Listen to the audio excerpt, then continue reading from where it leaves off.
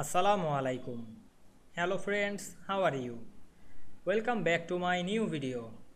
In this video, I am going to show you how to remove watermark in Word for selected page. Let's get started. Firstly, we have to open a Word document and take some page with watermark.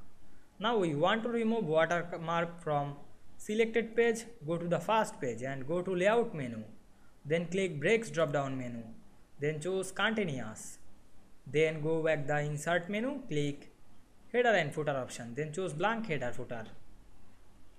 Then go to the second page click link to previous. Then go back the first page.